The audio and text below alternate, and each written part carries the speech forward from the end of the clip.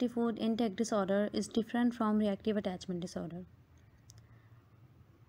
Avoidant restrictive food intake disorder is the disorder of feeding and eating disorder and reactive attachment disorder is the disorder of trauma and stress related disorders.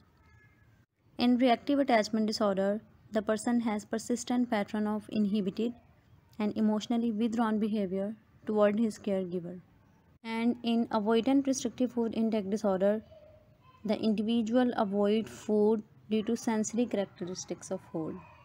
Eating behavior is common in both disorder but how can we differentiate avoidant restrictive food intake disorder with reactive attachment disorder? Let's differentiate it.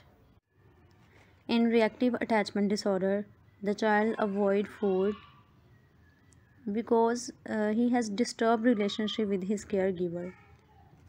He is socially neglected by his caregiver. That's why he avoid food and this can affect his feeding and intake of food. On the other hand in avoidant restrictive food intake disorder the child avoid food because he doesn't like the sensory characteristics of food.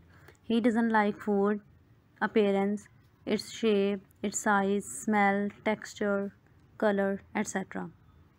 He is selective eater and that's why he has significant weight loss and significant nutritional deficiency. In reactive attachment disorder, the child avoid food because he has disturbed relationship with his caregiver. He, he doesn't have healthy relationship with his caregiver. That's why he avoid food. He doesn't avoid food due to sensory characteristics of food.